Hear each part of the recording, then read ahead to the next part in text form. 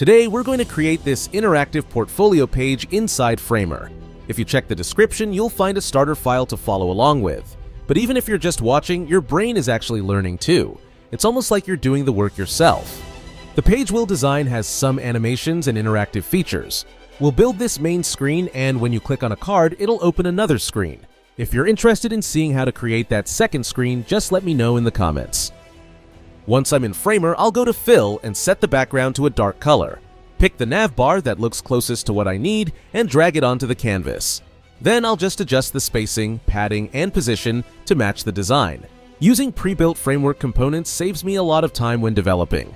I can quickly replace the logo and rename as well as add new navigation links to create a fully functional nav bar without worrying about making it responsive. Other than the logo and the links, the nav bar has a button. I'll make it by creating a new component called button. Once I'm inside of the component, I can set its size and add the text. I'll write for now, get in touch text. I'll style it with a dark background and a light stroke.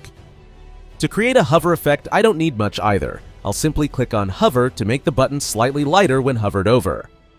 To speed things up in the future, I'll create few more buttons that would be repeated across the page. They will be in the same component, so I'll just click on plus icons to make it another variant. For the primary CTA, I'll give it bright blue color as well as increase the text size. The website will also have a dark light mode switcher. To create that, I'll add a custom code element where I'll insert the code that handles the switch functionality. I'll place this code inside the component and then move the switcher to the nav bar, positioning it right next to the links. Now we can get to the exciting part. To make the background more interesting, I'll add gradients. I'll create a frame that covers the full width of the page and 75% of the height. I'll remove the fill because I'll be adding a rectangle inside. Instead of a plain fill, I'll use a radial gradient.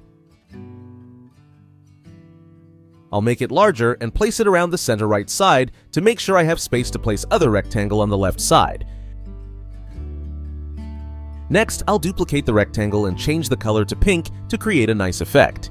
The circles are being cropped at the bottom, so I'll add another container to make the height of the page larger so that it has space for all future content. I'll create a frame, remove the fill, and center align it. I'll move up the gradients. Now that the background is done, I'll start adding content to the page. I'll add a frame and remove the fill. Next, I'll add a tagline that says work, to give it some hierarchy and emphasis, I'll make it red and keep it small. I'll also add a headline that reads Think, Design, Simplify, Repeat. Make it two lines by setting max width. Under that, I'll add a paragraph description, make it two lines as well. To make the background more interesting, I'll add a grid pattern. I'll create one element and duplicate it multiple times.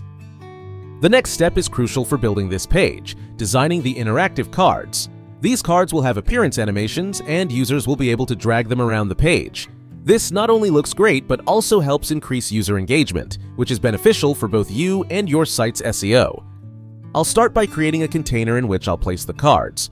Since they will have to be placed randomly and move around on the page, I can't use a stack or auto layout. To build interactions and a one-pager like this, you'd normally need to learn basic design principles, how to use Figma, and then how to bring it to life with code. Using a no-code tool eliminates all of that. Now, all you need to do is learn the basics of Framer and start applying it to your work projects. Let me ask you, how much you charging for a website? Back to when I was starting out as a designer, I'd get a project super excited and think, this is it, I'm going to crush this. But then, reality hit. I'd spend weeks on a single design. I mean, it felt like I was building the pyramids, one pixel at a time. And just when I thought I'd nailed it, the client would come back with a feedback. Can we make it pop more? Or my personal favorite, can we try 10 different shades of blue? I'm sitting there like, sure, I'll just invent new colors while I'm at it. It was as if I had signed up for a never-ending game of spot the difference. But the difference was always invisible. At the time, I was getting paid a few hundred bucks for projects that took forever to complete. I remember spending entire days, sometimes nights, just on revisions. I get so tired I couldn't tell if I was working on the design or playing Tetris with text boxes. Meanwhile, I'd scroll through Dribbble and it was like looking at the Louvre. Designers were out here creating masterpieces while I was still trying to figure out why my buttons didn't look right. You know that moment when you're like, Am I even cut out for this? Yeah, I lived there. Then, after years of trial and error and realizing that I didn't have to design everything from scratch, I discovered no-code tools. It wasn't some overnight miracle, but a gradual understanding that I didn't need to spend all my time developing from the ground up. These tools let me focus on what I'm best at, designing. Once I shifted my mindset and started using no-code, things got a lot faster. I could design and develop in just a few hours, instead of weeks. And with all that saved time, I found myself not only doing better work, but earning more than I ever thought possible. After finishing the first card, I'll move it down and center it. To rotate it, I'll set the card to have an absolute position and adjust the rotation however I need. You don't have to follow my exact placement, I'm just going to randomly position them across the page. To add the animations, I'll click on the Effects tab and adjust the properties to get the result I want. I can tweak the easing and speed of the animations to my liking. For a drag animation, I'll just select it from the list, and it will be automatically applied to the cards. Now I can move cards, and when I refresh, they will be back in their place. I'll quickly add tooltip elements to the bottom of the page and make them interactive. Of course, no website is complete without a footer, so I'll add that as well. Once that's in place, I'll replace the placeholder images. It's super easy, just select the image elements and upload the ones you need, and you're good to go. Alright, let's preview the result. That wraps up our interactive portfolio page. As you can see, building this was quick and fun using these tools.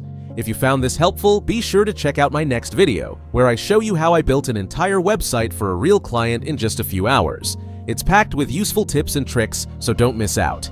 Hit that next video and let's keep creating together.